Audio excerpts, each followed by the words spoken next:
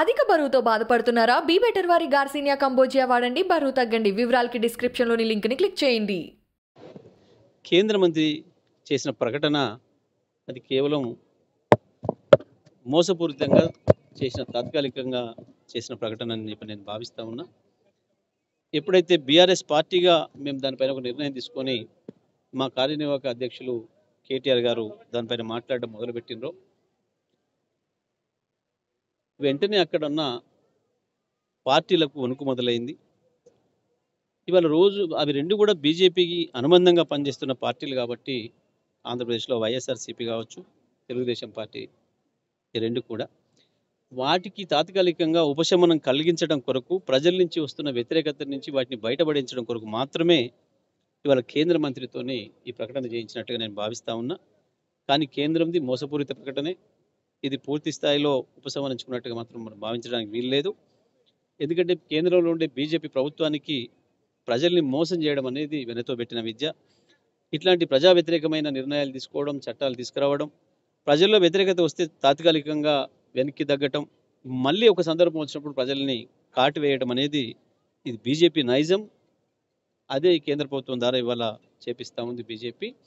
ఇది తప్పకుండా బీఆర్ఎస్ దెబ్బకు ఆంధ్రప్రదేశ్లో ఉన్న రెండు పార్టీల్ని రక్షించుకోవడం కొరకు చేసిన మోసపూరితమైన ప్రకటన తప్ప ఇది ఇంకొకటి కాదు.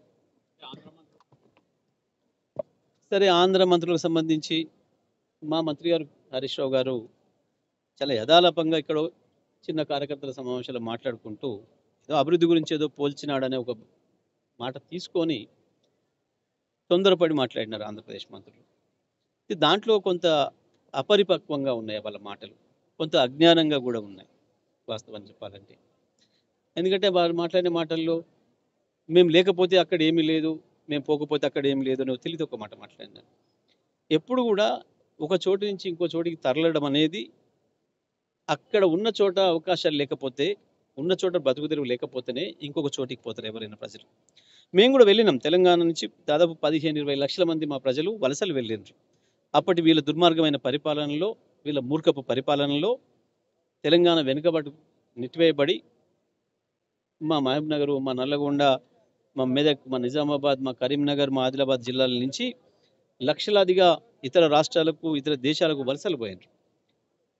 కేసీఆర్ గారి పరిపాలన వచ్చిన తర్వాత కేవలం ఎనిమిదేళ్ళలోనే మొత్తం మా వాళ్ళు వెనక్కి రావడం కాకుండా ఇంకా అదనంగా పదిహేను లక్షల మంది పైగా ఇతర ప్రాంతాల ప్రజలకు ఉపాధి కల్పించే స్థితిలో ఇవాళ వాళ్ళకి ఆతిథ్యం ఇచ్చే స్థితిలో తెలంగాణ ఎదిగింది.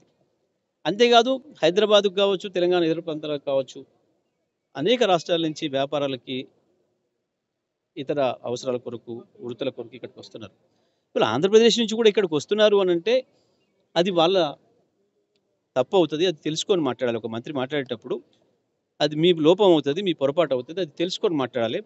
అది తెలియక అజ్ఞానంతో మాట్లాడిన నేను అనుకుంటున్నా తప్పకుండా వాళ్ళ ముఖ్యమంత్రి గారు దాన్ని కంట్రోల్ చేస్తారని నేను అనుకుంటా ఉన్నాను అధిక బరువుతో బాధపడుతున్నారా? బీ బెటర్ వారి గార్సినియా కంబోజియా వాడండి. బరువు తగ్గండి. వివరాలకి డిస్క్రిప్షన్లోని లింక్ని క్లిక్ చేయండి.